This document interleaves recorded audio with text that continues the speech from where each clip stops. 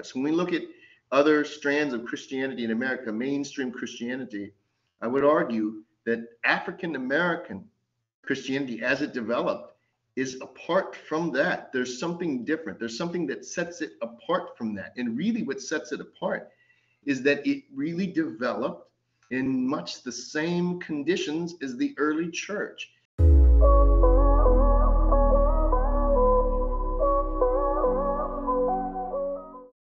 Well, hey everyone, what is up? Welcome or welcome back to my channel. My name is Austin. This is Gospel Simplicity, a place where we seek to bring simplicity out of theological and historical complexity. And that is what we're doing today. Today was so much fun. Like I, I just finished the interview. I'm beaming. I love getting to do what I do.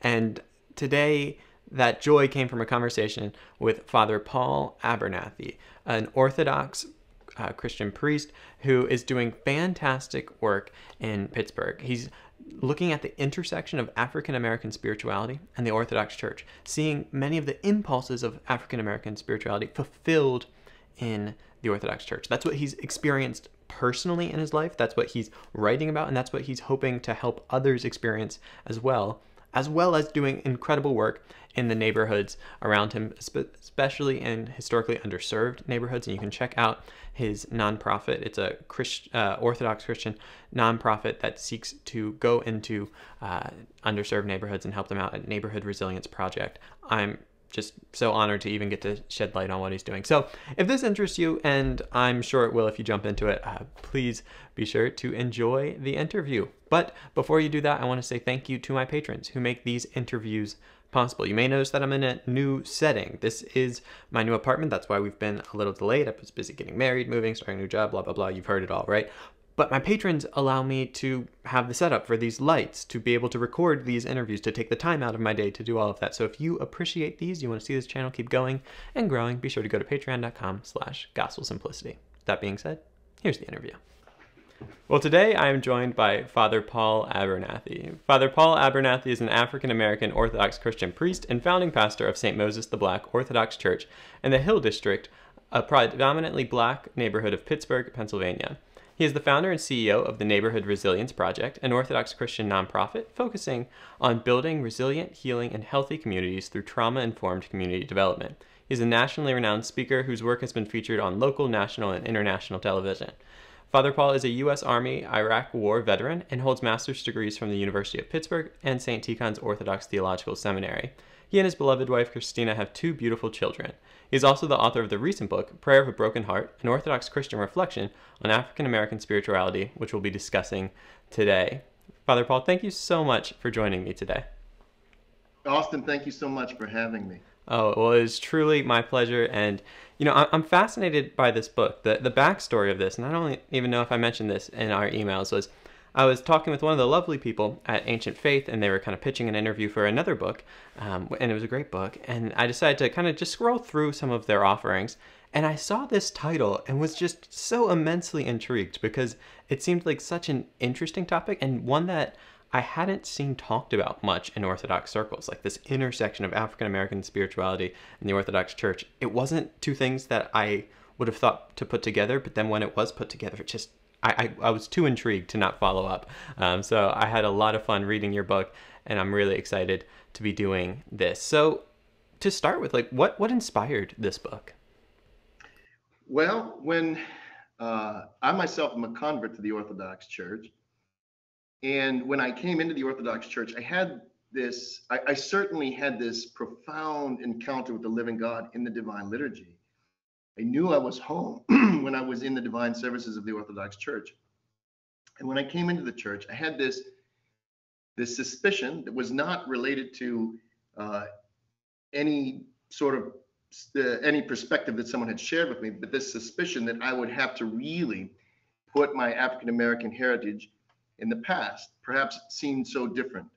But as I began to continue in my life and my journey as an Orthodox Christian, I encountered uh, other African American Orthodox Christians, namely in the Fellowship of St. Moses the Black, who really introduced to me the African American spiritual experience in the context of the Orthodox Church.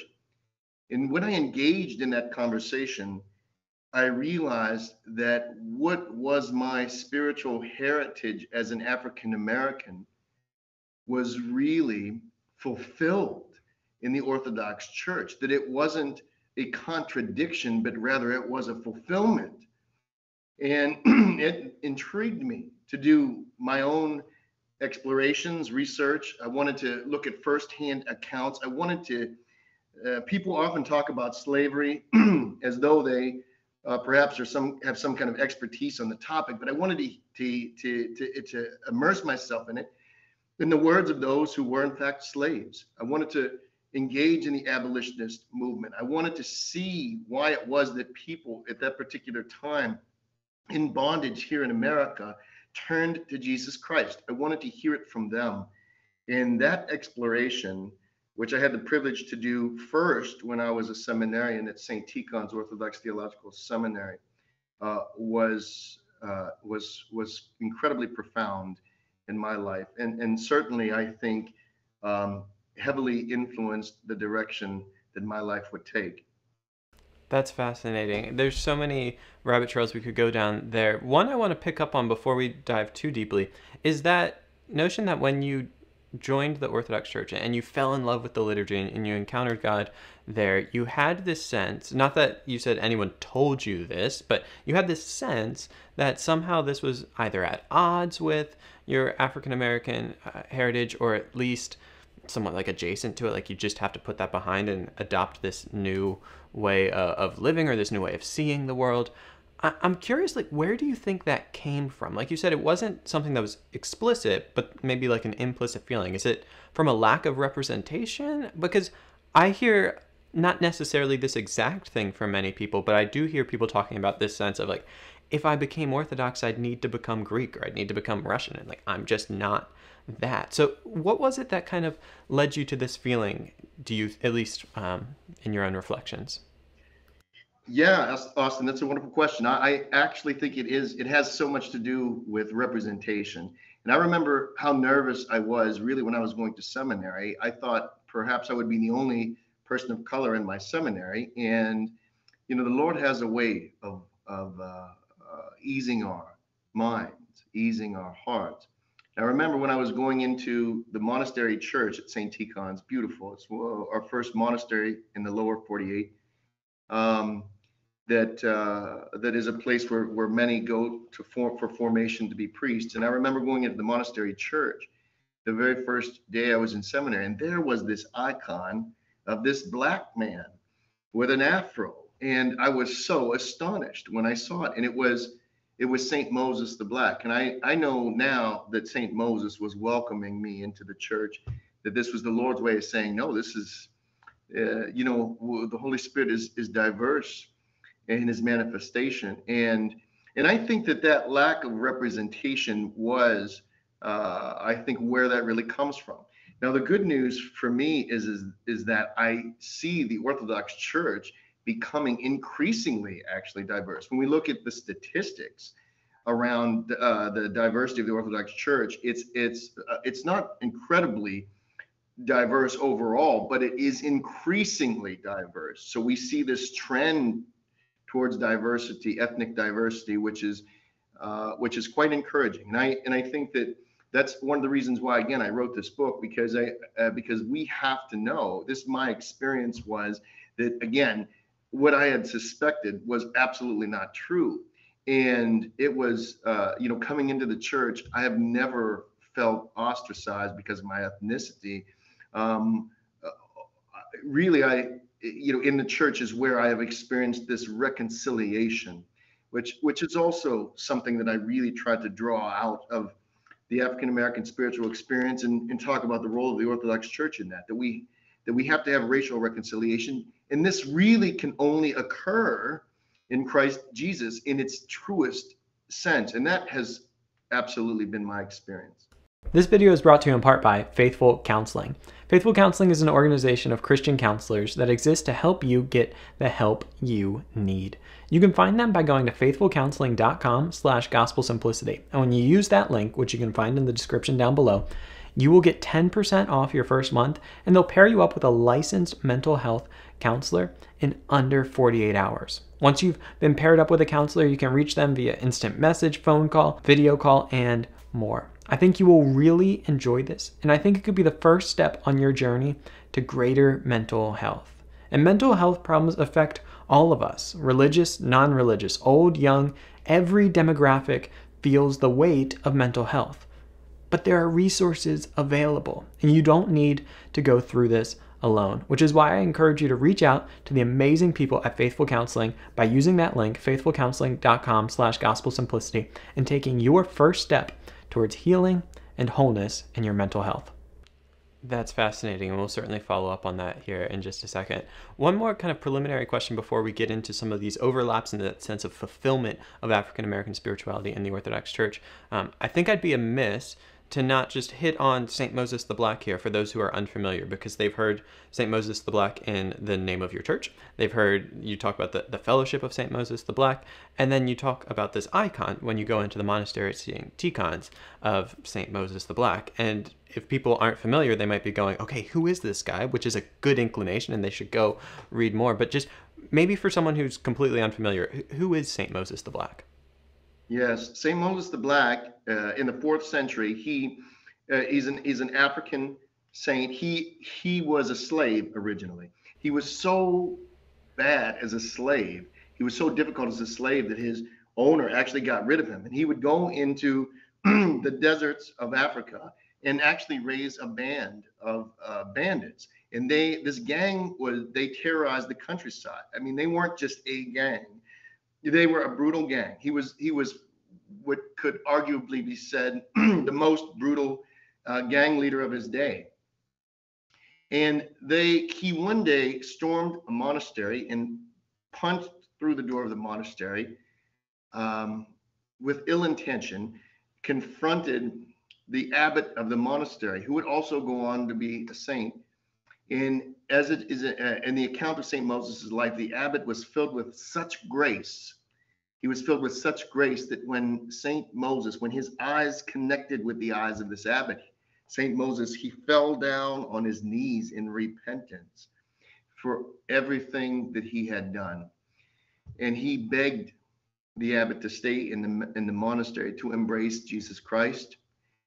Uh, and the abbot accepted. And uh, Moses became a disciple of this abbot. Some time would pass, two men would crawl into St. Moses's room and try to rob him, ironically. And he ended up subduing the two of them, tied them up, and he drugged them to the abbot. And he said, These men tried to rob me. What would you have me do with them? And the abbot responded, Teach them in the ways of Christ. And these two thieves became his first two disciples. And um, it is said in the account of his life that he had 72 men in his gang. And at the time of his death, it is said that he had 72 spiritual children he had discipled. Uh, he ended up um, foreseeing his death and choosing to uh, meet his death actually by a rival gang that would uh, that would catch him in the desert and execute him and six of his followers. They knew it was coming. They chose to give their lives as a witness of uh, Christ's love and redemption for mankind. There was a seventh monk who hid and recorded the event so that all the world would know um, how the great uh, the great gang leader Moses would become the offering the sacrifice um, in this spirit of Christ's redemption. So it's quite a remarkable story, and he's he's been very um, he's meant a lot to us in our journey in Christ. And certainly, I think for for our community in the in the community that I serve, there are so many people who are uh, broken, who have regrets, and sometimes it saddens me when people say, I have no regrets, because I think when we say that, we ignore the sins we have committed. I think every Christian should have regrets, and these regrets should lead to repentance. And I meet many people with regrets. And the good news is, is that we you, we put up the example of Saint Moses in his life, and we see what is possible in Christ Jesus our Lord. That with God, all things are possible. That sinners become saints. That the gang leader becomes a spiritual father, a shepherd. You know, the wounder becomes the healer. Um, this is uh, this is quite powerful. It's been a powerful witness for us in our community, certainly.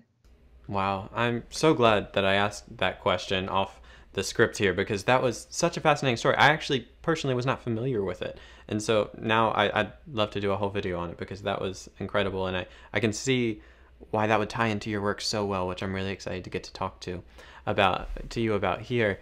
So you talk about this idea of the Orthodox Church being, in some sense, the fulfillment of African American spirituality. And, and you hone in, like you talked about in your research, on African American slave spirituality, at least in part in the book. So I, I want to break down those two things a little bit as we get started here. So when we talk about African American spirituality, what are we talking about? Because I imagine, I mean, we're, we're painting with a broad brush here in a sense, but we might want to be careful to distinguish like what what we are saying maybe from what we're not saying there. So African American spirituality, what do we mean by this term? So this is a this is a fascinating question, and um, and so I would just say from a historical context, it's it's clear to me in the research that there is consistency.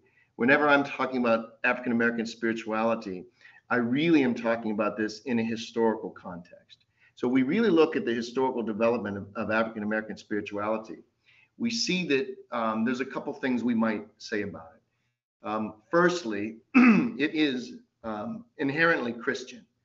So we see in the slave narratives, we see this overwhelming presence of Christianity or the Christian perspective. It is Christ centered that goes really across the wide demographic of the historical African American experience. And you can see that really um, referenced in many ways, certainly among African American leadership, certainly, excuse me, in the slave narratives. We can see that in the poetry and the spirituals. If we look even, for example, we say, well, what is the quintessential African American folk music. So if we talk about music as a, a, you know, in different genres of music, we talk about, well, what is folk music? Uh, you know, American folk music, or what is the most American music? There are there are there are many who believe that the most American music, that is to say, music that is really without in that has the least amount of influence from other lands, is the spirituals are the spirituals, these African American, uh, you know, sacred music that is an expression of their faith. And if you really look at the music that dominated, you know, music is an expression of culture. And if you really look at the music that dominated the African American experience in the antebellum era, it was indeed spirituals. And so, really, uh, these spirituals are an expression of the this spiritual reality that they really lived in. Um, we would also say, I would also say that from the research, it's very important to understand that this spirituality historically, again, historically, in, in mo- and now in the modern day, some things are changing. There's some reasons for that. But historically, there was there's this understanding of a mystical also reality of a mystical encounter. So it is it is very important to, to understand that um, in the antebellum era, that that uh, slaves really uh, they really believed that they would really come to their faith through a mystical encounter. There's this uh, understanding of the mourner's bench when someone is going to come to uh, when someone comes into the church, someone wants to be a Christian, they're going to sit on the mourner's bench in repentance until until they actually have this encounter with the Lord, at which point then they will be Christians. So there's this understanding that there's this mystical encounter. And there's some, um, and so I really, it was really fascinating to go through the, the slave narratives and really identify you know, what were some of these mystical encounters where, where people were saying, um, I'm not a Christian because, you know, my master has taught me to be a Christian.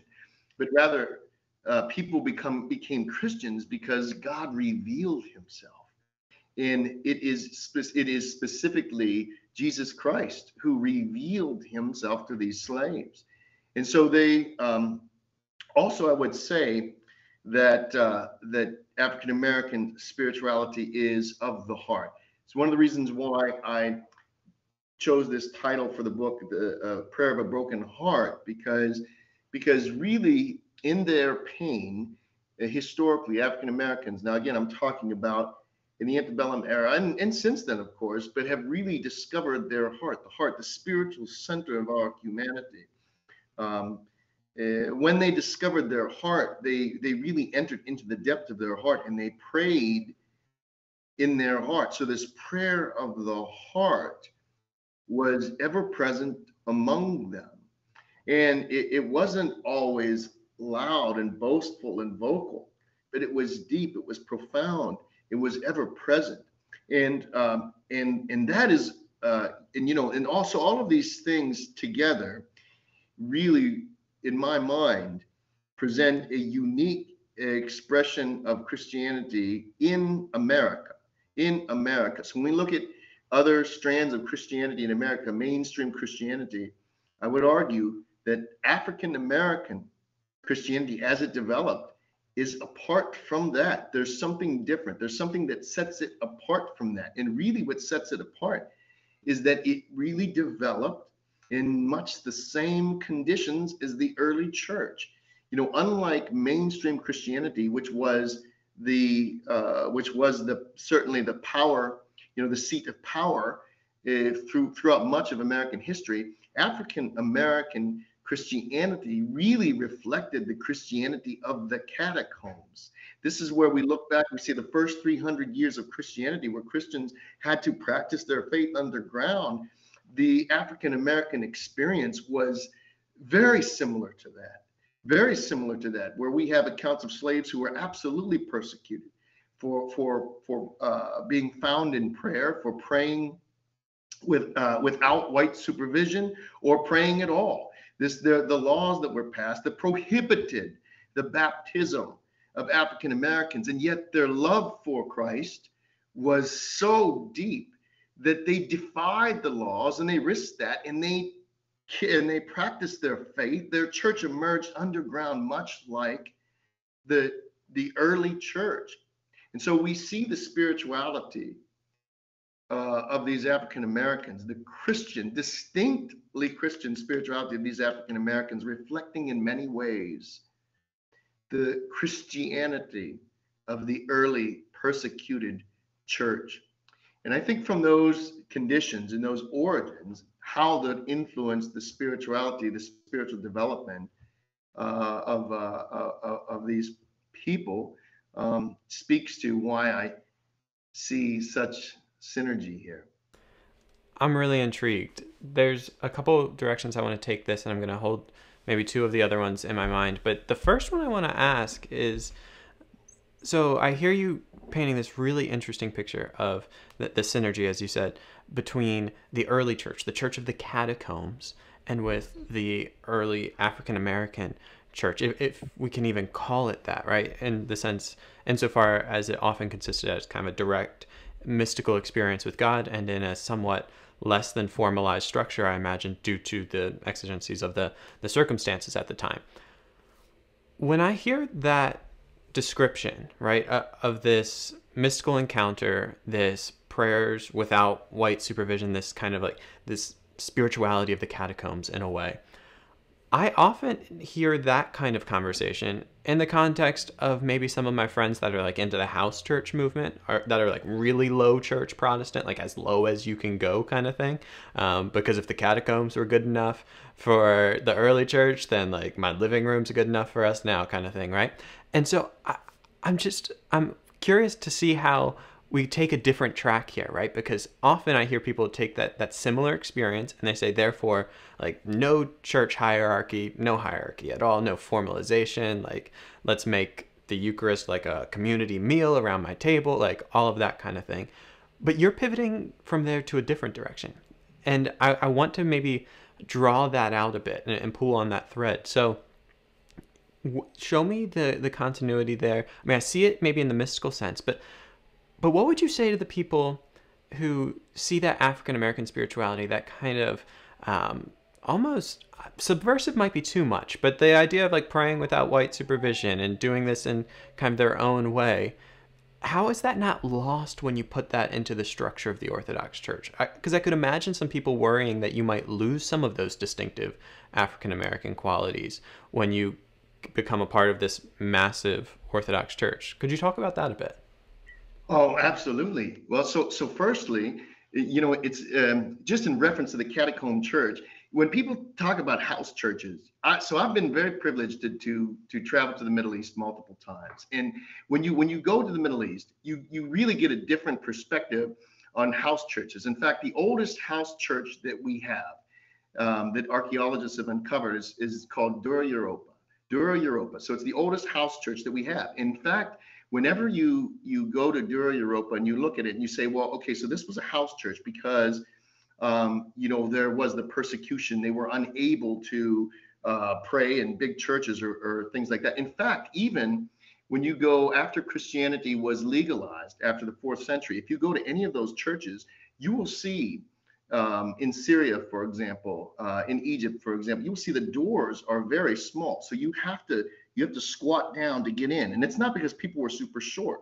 It's because they were always they were always afraid that soldiers would be coming through those doors. So they so they made those doors small so that if a soldier couldn't come through on horseback, and also if if they did come through, they had to come through one at a time, and it took and it was very difficult for them to get to. So e so before that, so it wasn't a sense that when they were in the house that they were sitting around. In fact, what we know from archaeological evidence is that in the house they had in fact an altar so they had they were serving liturgical services it was it was the divine services the liturgy this the liturgy of st james which we still have in the orthodox church we we practice it was practiced in the houses whenever we started our ministry here in the hill district when we started to have liturgies here we didn't have a big church we had this little old shack it, you know, you could compare. It was it was exactly like what those early house churches would have been. The only thing is,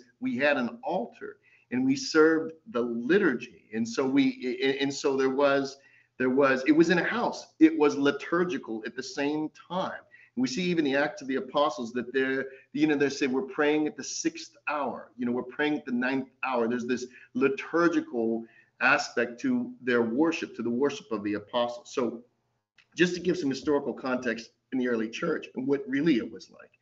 Now, if we come to the African American experience, what's so fascinating is that it wasn't when when this mystical encounter happened. Now, you, you might think that that okay, so everybody's kind of like on this sort of uh, you know finding Jesus and it's sort of this free for all, etc., etc. Really, what I would say is is that when people had this encounter you know these these sort of these encounters with christ it inspired order among them now this is a very fascinating thing because you would say where would uh, you know who would be the leaders among these enslaved people okay because because they have no power in the world they have no power in the world the world is against them the world has persecuted them and yet among themselves they found order. And that order they understood to be divinely appointed. So, who would be the leaders among them? It would be the preacher, it would be the minister. Who would be the leaders among them? It would be the one through whom the Holy Spirit spoke to them. So it wasn't more loose than their experience. In fact, I would say that whenever they came into this faith and developed this spirituality, they ordered themselves more. And this order was very important. There's a certain uh, there's a certain degree of trust and rest that we find in order. There's a certain perspective that the Holy Spirit is going to speak uh, through others whom God has appointed to minister to us. And that was appreciated and understood uh, among African Americans. What I would say is, is, is that the reason why I think this pivot makes more sense is because um, uh, African Americans, it's it's almost like uh, you, you, know we don't say that that they were doing this because they simply chose to do this. We would say that this was their reality because they were afforded no other opportunity. They were afforded no other opportunity. It's not to say that they chose this instead of some sort of you know liturgical practice. And in fact, there were there were many uh, you know many African American churches that would indeed have a, a more a liturgical approach. What we what we know though is, is that this liturgical approach that, that when they ordered themselves, that as they create established these communities where really they had uh, you know the, when even if we look at for example how they sang there was an understanding about sacred music. You know, no, there were no instruments. There were no instruments that were permitted in worship at all. It was antif- antiphonal, we would say in the Orthodox Church, antiphonal singing. That these ones sing here and these ones sing here. It was not at all a free for all. There was this. There was this. Uh, there was, in fact, you know, jazz music. Jazz music was, you know, the, the black church was actually against jazz the black church was actually against jazz. The reason being is because jazz was the antithesis of the order that they experienced in the church. Whenever they had spirituals, they sang spirituals, it was an expression of their order, of their unity. But jazz was everybody does, you know, this little riff. And they found that spiritually dangerous. So, this is why, whenever we look at the Orthodox Church, the order that they experienced through their spirituality that was often attempted to be disrupted by the world is confirmed and affirmed in the Orthodox Church, just as it was in the Church of the Apostles, which was indeed ordered. I've, I've certainly found this uh, found this to be true. And the final piece I would say is is that uh, you know there there um, the church is not just for one ethnic group we coming into the church uh, have to be reconciled to one another. Neither Jew nor Greek, nor male nor female, nor slave nor free. We are all one in Christ Jesus. Coming into the order of the Holy Orthodox Church in that liturgy is where we become not African Americans, where we become we become Christians. We become one in Christ. We become one with Christ and one with each other in Christ. And that is uh, extraordinarily important. Wow, yeah, that's a that's a fascinating answer, and I have to say this is so fun for me to get to to sit down and dialogue about this, and the way you were able to add so many different layers there, from Dura to the antiphonal singing of the early African American church. Uh, I I could talk about this all day, but we don't have all day, so we're gonna keep moving on this. But one thing that I want to circle back to, one of the things I had put a pin in on your earlier response, is you talked about the African American spirituality coming from this place of the heart and specifically in your book title, you talk about a broken heart. And throughout the book, one of the main things that you highlight is the way that suffering has shaped the African American church or African American spirituality and how that's a key point of overlap with the Orthodox Church. Could you talk to me a bit about that? Absolutely. Um, you know, as Christians, we we must find our heart. As Christians, we must know that the heart is the spiritual center of the human person. The Apostle Paul says we must pray without ceasing. Perhaps we wonder, how is it possible to pray without ceasing, to always be praying? To pray when we're awake, to pray when we're asleep, and even to have the Holy Spirit praying within us. When we talk about these things, we're talking about this mystery of the heart. We're talking about the prayer of the heart.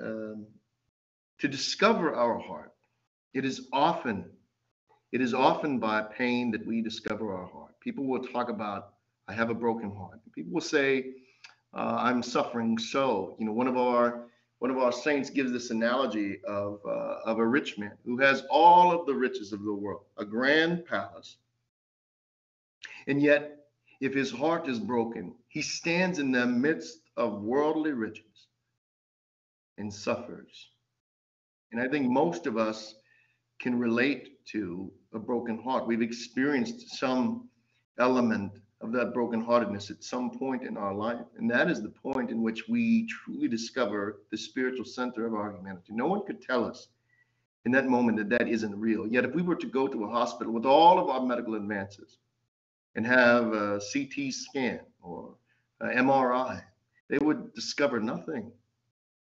And yet, we know that it is true, that it is real, it is what we experience. When we experience a broken heart, we realize how frivolous the world is. We realize that the world is fleeting, that the things of the world pass away, that they rot and they rust and they disintegrate. We realize this of the world. But in our brokenheartedness, um, is certainly in the uh, in the uh, in in I would say from the perspective of uh, the Orthodox Church, from the Orthodox Christian perspective, brokenheartedness is wherein we turn away from the world and towards the heavens. And when we think of prayer now as a vehicle to move the heart towards God, we understand prayer as the movement of the heart towards God not towards the world, but towards God, because we know in our brokenheartedness, in our pain, how fleeting this world truly is. And with this heavenwardly gaze, we practice repentance, understanding that in our repentance, we find by grace the healing of that brokenheartedness, where we have not just sorrow, but now we have sorrowful joy. That sense of sorrow is never truly gone for those of us in the world, but there is this profound sense of joy that that sorrow rests in. And that sorrowful joy defines the life of prayer. It defines the spiritual life, a life of repentance, a life of hope, a life in anticipation for a grace in healing, a mercy that is not of this world. Now, certainly that's an Orthodox Christian perspective, and I would say that from an African American Christian perspective, the very same could be true. Um, brokenheartedness. This is a disease that has plagued African Americans from the beginning of our time in the Western Hemisphere. Brokenheartedness. It's not just a historical reality, it's present now among us. I spend my days among men and women and children who are brokenhearted, not just because of one tragedy, but because of many that besets them and their families and their social networks. And I will tell you that when we pray with the brokenhearted, it is uh, it is powerful their prayers move mountains. Their prayers cast out demons. Their prayers heal the sick. Their prayers turn the wicked to repentance. And I've seen it many times. So the brokenhearted prayer, as it says in Psalm, we would say Psalm 50, Psalm 51, in the Western tradition, a broken and humbled heart God will not despise. There's a great power here. And I think this is why uh, I discovered counts of slave owners who were terrified of the prayers of their slaves. Uh, this is why I believe, I believe, this is why they did not permit slaves to pray because they knew. They knew what power was to be found in the prayer of a broken heart. Sadly, what they did not realize is, is that those broken-hearted prayers in the accounts that I have seen were not prayers for vengeance, but prayers for peace, prayers for freedom, prayers for reconciliation, prayers for forgiveness. And so I think that there's a profound lesson to be found uh, when we see this brokenheartedness and the prayer it inspires uh, coming together uh, with the Orthodox Church and the African American Christian experience to edify, to edify those of us who are follow, followers of Jesus Christ who might, like these traditions, reject the world, repent for our sins, look forward in anticipation for the hope of the world to come, and rest in the peace, in the joy of our Lord that is not of this world. Amen. That was that was beautiful, Father Paul. Thank you for that, and thank you for the the way you you dive into that idea of the the sorrowful joy of prayer. That that really spoke to me, and I, I believe that's going to speak to a lot of people who are listening. So I, I appreciate that so much. Not to bring it down too much, but but I think it's essential to to ask this question, or or to address it in a conversation such as this. Is that you and it's something you talk about in your book that there have been people and there are certainly today who, who look at the, the broken heart uh, of the African American experience in the US like over throughout history and would say that so much of that brokenheartedness came through people who also claimed to be following Jesus that, that so much of that pain came at the hands of people who who not only claimed to be following Jesus, but but claimed to be doing what they were doing with with the backing of Scripture, and that's caused people to turn from the church, thinking that the the answer is elsewhere. You, you talk about things like the Nation of Islam or different different movements that that sought to to kind of pivot away from the church, find hope outside of it, because it seemed as though that Christianity might be part of the problem rather than the solution. Now, I think you've talked very eloquently about how the idea of Christianity just being the white man's religion isn't historically accurate, right? That, that there is this this fundamentally Christian um, identity at the heart of African American spirituality, historically speaking. But to those who either historically or today look at the, the suffering of African Americans in this country and see it so often coming at the hands of people claiming the title Christian, what, what do you say to people who experience that pain and say, why should I look for hope in the church? Does that make sense?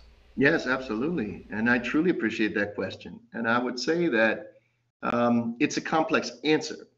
Uh, on the one hand, it, it's it's undeniable that there were that there were Christians who were absolutely uh, complicit in the slave trade. They were complicit in the uh, you, you, know in the uh, you know in being slave owners uh, in in America in the slave institute. Excuse me, the institution of slavery in America um, uh, people, the Christians who were complicit in Jim Crow, and, and certainly trying to use scripture to justify that. What I would say, however, is that again, historically speaking, if really we look at uh, the role of Christianity as relates to the oppression of African Americans, uh, for me, it's absolutely undeniable that Christianity is actually the driving force in the causes of justice and reconciliation all throughout African American history. In fact, whenever you look at whenever you look at the even if we go back to the whole conversation around uh, will can will slavery be able to continue um, at the Second Continental Congress? Will slavery be able to continue as in this new country, this free country, 1789? We see that that there were that really the opposing voice of slavery came from Christians. If we look at the Underground Railroad, it's all uh, run by Christians. If we see that the the slave owners, we look at uh, slave owners and we see how you know what was their real disposition. We see that they, many of them, they were themselves many not religious. There were religious slave owners, and, and certainly, as I think I even mentioned in my book, that, that that there were slaves that found that religious slave owners tended to be the worst kinds of slave owners, the toughest uh, slave owners really most of the time these slave owners they themselves were not religious. It's important to understand that that really whenever we get into it, there are that that that it's not just about it's not just about uh, that people weren't really in, uh, enforcing slavery. They weren't doing Jim Crow because they had this deep, profound spiritual life. In fact, it's just quite the opposite. What we really see in their accounts is that they they were people of hardened hearts who really despised religion. They might have gone along with it. They might have gone to church to keep, uh, uh, you know, a particular uh, social order, but actually many of them did not. If you ever read the book Uncle Tom's Cabin, it's it very clearly portrays this reality. And Harriet Beecher Stowe, she uh, she was very careful in how she wrote that book, and in fact wrote that book based off of real experiences. So whenever you read that, you're like, it's a fictional story. It is. It's based on real experiences. And what you see so consistently is that these slave owners were not religious people. And what you see consistently is the theme in Uncle Tom's Cabin is that those who were Christians, whether they were in the North or whether they were in the South, always understood that slavery was against the will of God. They understood it. And we see that Christianity, as she portrays it in that book, is the driving oppositional force to the evil of slavery. It's it's just very clear. So I think we have to have that historical context. Uh, we have to have an accurate understanding, reflection of this. I think sometimes we assume too much. Now, now Frederick Douglass, he he talked about he talked about that that there was a difference between the Christianity of this land and the Christianity of Jesus Christ. So he made a distinction between the two because he said the Christianity of America uh, is is you know it is not true Christianity because because it has made space for slavery to exist here, and I think that's also very consistent that that that we will see we will see uh, that, that we will see people who you know, attempt to hijack Christianity in order to fulfill political objectives. And when they do that, it is no longer true Christianity. Um, you know, we, we might refer, I might refer to the scriptures here and say, look, don't be surprised. Don't be surprised because the scriptures themselves say that that that the that Satan himself appeared as an angel of light. So therefore, do not be surprised when his ministers also appear as ministers of righteousness. Of course, we know that the evil one is going to mock Christianity by attempting to use Christian, presenting to present himself, to present himself with the cloak of Christianity. But see, what I would say is if if our I'm talking about now my if my ancestors if my ancestors who were living in bondage if my ancestors who were present among that hypocrisy, if my ancestors who knew that the Christianity of this land was not truly the Christianity of Jesus Christ, if they knew all of that and still loved Christ with all of their heart, all of their mind, all of their soul, all of their being, I would say that that is more powerful than the hypocrisy of those who claim to be Christian but fail to be so in practice. I choose rather to focus not on the hypocrisy of the sinner, but the sanctity of the saints. Because there, whenever we put our focus there and we receive what they have handed down to us, which was forged through hours and lifetimes of unimaginable suffering, we will receive something extraordinary for our salvation. If we choose rather to focus on those who attempted to pervert the gospel for their own selfish ends, then there's too much of a temptation to mimic the very sins that they have committed against Christ. So I think that the final word I would say on this, and this is what uh, is absolutely hard for people to understand, I think, in 21st century America. And I've often said this, and people, they've say, they've asked me, Father, are there racists in the church? And I always respond to them, I hope so. Because how else will they be healed from the sin of racism? The church is a hospital. And I know that people aren't going to be saints before they come into the church. I always tell people that Christ Church is a come as you are church. It's just not a stay as you are church. So we mustn't ever give up on the racists among us. We pray that one day we stand with them in the kingdom of God, not as enemies, but as brothers and sisters. This is the way of our God. It is contrary to the ways of the world, and it is perhaps hard for us to hear. But this is divine truth. And this truly is the experience of my ancestors. Wow. I thank you so much for that. That was fantastic. And I I could continue this conversation for so long, but I'm not sure I can think of a better place to, to wrap it up than with that uh, with that that picture uh, of what reconciliation looks like, the, the messiness of that that that answer of are there racists in the church? and saying I hope so because this is where they will experience transformation that it's come as you are but not stay as you are. That that is such a a compelling picture to me of what the church can and should be. And I think that people will just absolutely love getting to dive into more of what you have to say on this in your book, which I'll be linking down below. But Father Paul, thank you so much for your time today. This has been an absolute pleasure and a privilege for me. I, I wrap up all of my episodes with what I call kind of the final four, which are an opportunity to kind of get to know the guest a little bit more on a personal level. Um, so, so we're going to transition to that now, but I just want to say thanks again for that. This was such such a pleasure for me. I'm I'm so grateful for this opportunity.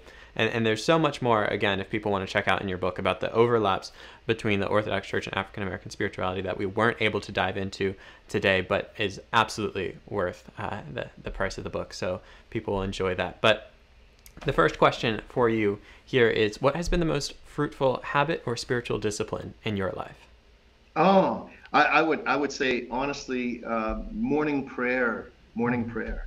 Um, you know, you know, for me, uh, uh, prayer in the morning. You know, it's like some people who are coffee drinkers. They're like, I can't imagine a day without coffee. Like, you know, start. You know, um, that's what prayer in the morning is for is for me. And and uh, and that that always just being able just to to really set my day, to you know, to really commune with God, to to uh, to receive grace. You know, to to you know, to pray for wisdom, to ask the Holy Spirit to fill and guide me and speak through me and move through me, asking the Lord to flood my heart with love for all those that will encounter this day. This, and, and of course, you know, with that, um, you know, the scriptures and spiritual readings, that that morning, you know, that morning prayer reflection is is uh, very very precious to me. I love it. Outside of the Bible, what has been the most impactful book on your life? Oh, wow. Um, you know, I uh, boy, that that's that's such a difficult question. Such a difficult question.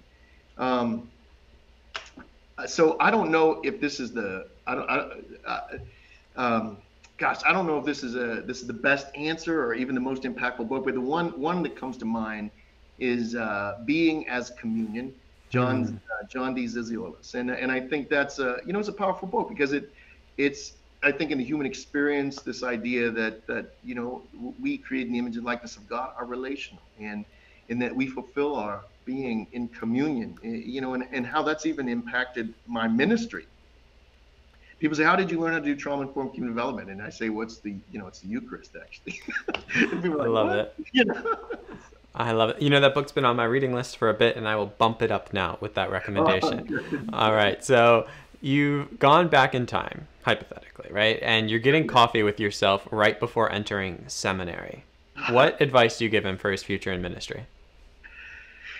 Ah, yes. So, so the advice I would give myself is, um, don't worry about how you will do it.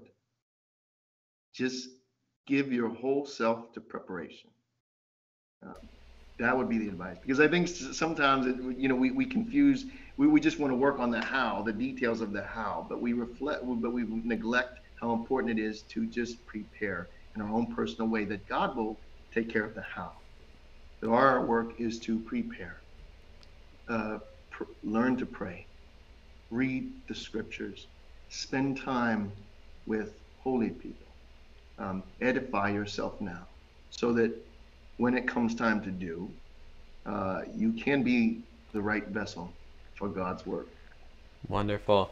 The last question that I like to ask all of my guests, and it's a real privilege for me, is you know the the title of this show is Gospel Simplicity, and I'm often told that sometimes the conversations are a bit complex, so I like to end it here.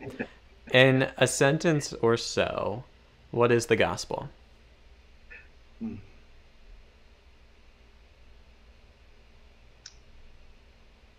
The gospel is the good news that God is with us, that all the world is loved, and that the heavens are open to us. Hmm. I love that. I love that. I usually would wrap up right here, but just to give you one opportunity, um, we didn't get to talk about it today, but if people are anything like me and they, they got to sit and listen to this conversation, they're just fascinated by what you have to say, and the book is just the start of their fascination, they want to learn more, could you let people know how they can learn about what you're doing with the Neighborhood Resilience Project? Thank you. So neighborhoodresilience.org, neighborhoodresilience.org, that's the website. Certainly you can like us on uh, Facebook and Instagram. Uh, also follow us. Um, yes, please look into our work, uh, look into our ministry. Um, it's been very, uh, it's been very profound in my life, and uh, and uh, certainly we look forward to inviting others into it as well. I love that. I've got lots of family up in the Pittsburgh area, so uh, perhaps I'll, I'll, definitely be looking into this more. Thank you so much. I'll link the book and the Neighborhood Resilience Project down below. It's, it seems like such fantastic work you're doing, and I'm so grateful that your voice is out there, not just speaking about these things, but you're out in the communities doing things. So thank you for your work, for your voice, and for your faithfulness, Father Paul. I'll end as I always do by saying until next time, be on the lookout for more videos, but far more importantly than that, go out and love God and love others, because truly, above all else, that will change the world.